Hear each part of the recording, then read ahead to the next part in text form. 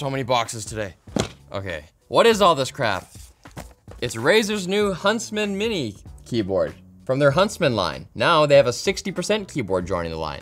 A 60% keyboard is a small keyboard. It has no numpad, no function row, no navigation keys like home and end, no arrow keys. It's just the alphanumerics. Pretty cool, pretty tiny. Let's look at it. But what's this other crap? I have some extra keycaps. We'll get to those in a bit.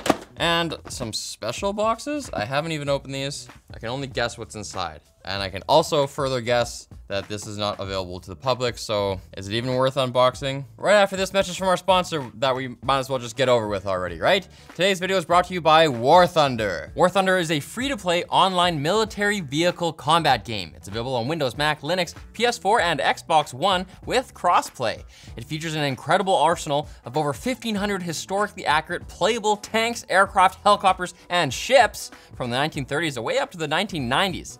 It's got massive combined arms battles on over 80 major battlefields from World War II to, you guessed it, the end of the Cold War. So head to the link below and start playing War Thunder for free at the link below. And you'll also get an exclusive bonus.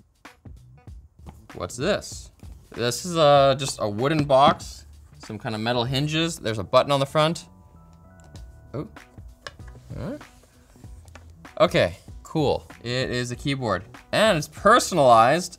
How do I get you out of here? Oh, this little pull tab maybe. it says short circuit on it. That is cool. Again, I'm pretty sure you will not be able to get this. Definitely can't get a short circuit one. But here's the keyboard. What else do we have in this box? Dominate on a different scale. Ha, cute writing.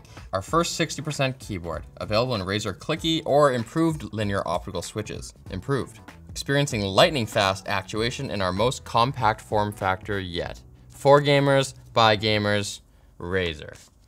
Also comes with a bag, which undoubtedly holds the USB-C cable. There it is. It has a nice Razer cable tie, flexible, multiple steps. USB-C on that side, USB-A on that side. And it's white, matches the keyboard. Now, what do we have in our other wood box? Huh? Is it a black one? Huh?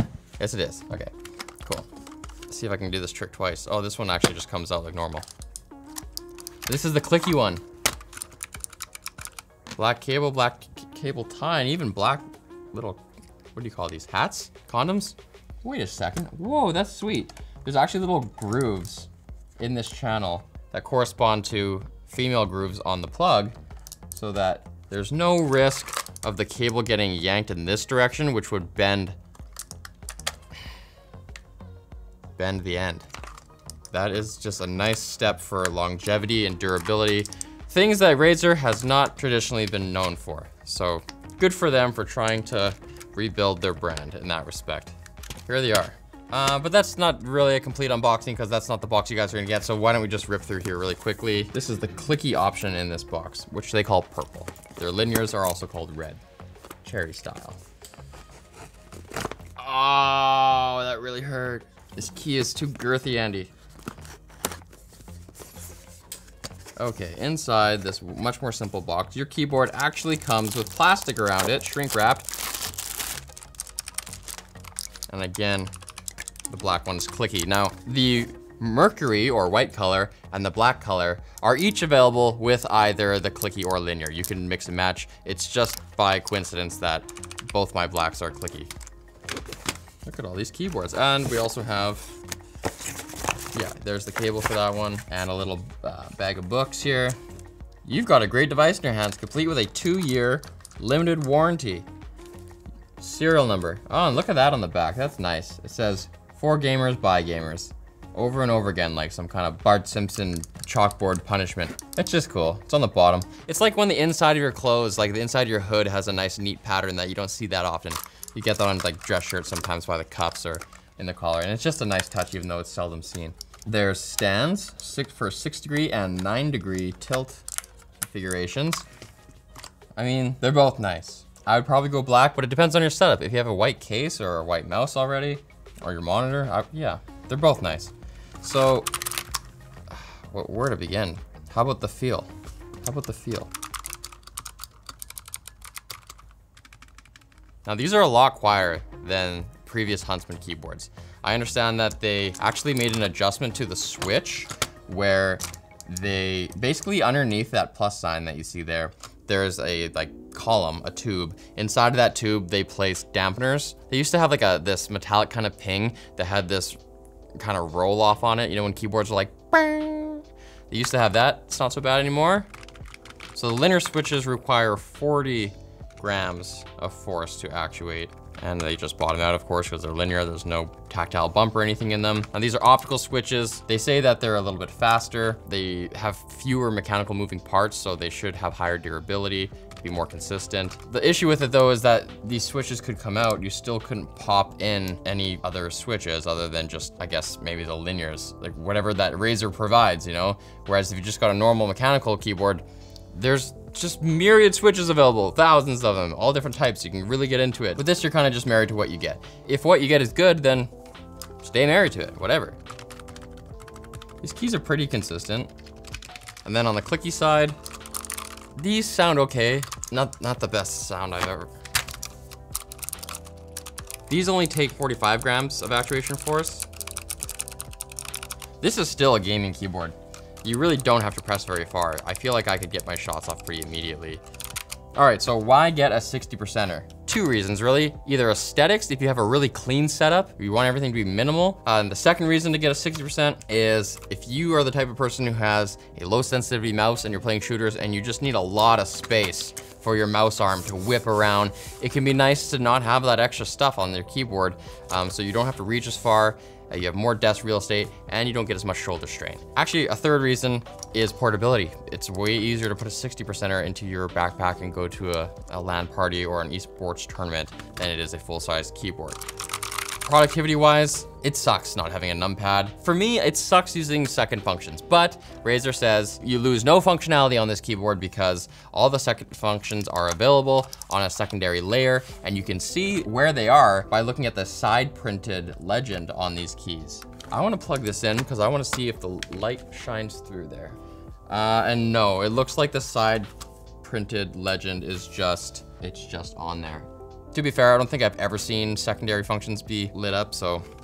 Now, you can see the light is shining through these other keys, and that is because these are double shot injected, which means that the black area you see here is one layer of plastic, and it would have had a hole in it for the words. And then there's a second layer of plastic, which is white, you can see it. Therefore, you can never scratch that off. There's no way to scratch this off. It's impossible you'll wear through your fingers first. Another thing is that these are PBT plastic, and so they're not gonna get shiny. You know when you use a keyboard for a long time and you don't wash your hands between eating and gaming, what happens is the plastic degrades and you get this like shiny look on the most commonly used keys. That's not gonna happen to these, so that's nice. I guess it's a good time to talk about these other sold separately keycaps that we got here. Um, they're mostly just different colors. Um, these are black, Razer green, mercury white, and quartz pink. So if you wanted to have a black chassis with white keycaps or vice versa. Or if you wanted to just, what I think looks cool, just have a certain number of them swapped out so you kind of have like a half and half look, like panda style. I think that can look really cool, striking. Is this really necessary? Oh yeah, all like the little stabilizers and, oh man, they're like vacuum sealed in here. It's like they're tofu or something. See, the issue with these is that they don't have the side printing for your secondary functions. I mean, I guess that's kind of understandable. And for 30 bucks, this is actually a decent value. Oh, and you get a keycap removal tool, so wow. I don't know how well the quartz is gonna go with this black. They're kind of opposite palettes. Yeah, that looks pretty bad.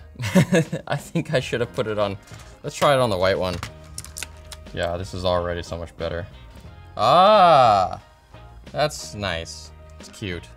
When you have the colored keycaps like this though, I feel like you're a little more limited with what RGB colors you can choose because some colors, they just don't look great when they're shining through. And so you might wanna just restrict yourself to something that looks good with the color. Like I don't feel like the red going through here looks very good. So like basically any keyboard you can get, it has N key rollover, it's got anti-ghosting. Uh, it actually, despite being a 60%, it has a standard bottom row, which is nice. Sometimes these get kind of screwed up and things are moved around. This is standard. Uh, it also has a game mode so that your Windows key won't come up in games. Uh, there's even media keys on the secondary row. The one thing that you can't do on board, despite being able to have five keyboard profiles that you can save on device, and despite there being some default RGB settings, as you saw me cycle through on device, there is no ability for you to create a new RGB profile and then save that to your device and take it somewhere. You can make your own custom RGB profile, but you have to do that in Razer Synapse software, and then it'll save to your account on Synapse. So if I brought this keyboard somewhere else, I would have to plug it into that machine, get Synapse on that machine, log in, and then I could have my profile again on this. But uh, the build quality is pretty nice. It's got an aluminum faceplate on it here, and you know you don't really get that much deck flex with these as is. So it feels pretty stable. It's not as fat as that candy bar keyboard I had a little while ago on Short Circuit. And for weight, we're looking at 430-ish grams, which is like, that's fine. It's pretty average in terms of weight. I wouldn't call it heavy for its size or really too light. It's just pretty, it's kind of normal. Pricing wise, kind of weird. $120 for the clicky version, making it the cheapest in the Huntsman lineup. However, an extra $10 for the presently unavailable linear version. Weird that there's a price difference. I think it's because they just revamped the linear switches from their previous iteration, so maybe they had to cover some R&D costs or something there, but 10 bucks difference. Not the cheapest keyboard out there, but it's Razer, so what did you expect? It's not a groundbreaking device, but um, it's cool. You'll probably like it. I don't know if they're gonna last in the long term. We'll have to wait and see but you get a two year warranty, so whatever. If you're a fan of Razer, if you wanna use your um, Razer Chroma lighting effects with all your other devices and your supported games, and you want a 60% keyboard, then this is the one to, to, go for. So thanks for watching Short Circuit. If you like this video, you might like our other previous review of the Candy Bar keyboard that came with a, a cool kind of DIY kit, and that is a good foot in the door for enthusiast keyboards. If you want something that's plug and play, then this is the way to go. Bye.